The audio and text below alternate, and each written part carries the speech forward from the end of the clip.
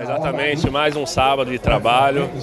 É, nós estamos aqui na, no Conjunto Marisol, aqui em Pitanga, para entregar mais uma obra para a cidade.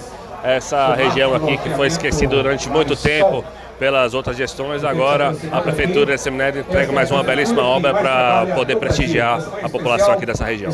Uma obra que já foi testada, não foi inaugurada, mas já foi testada. É uma obra realmente para resolver a questão dos alagamentos aqui da região.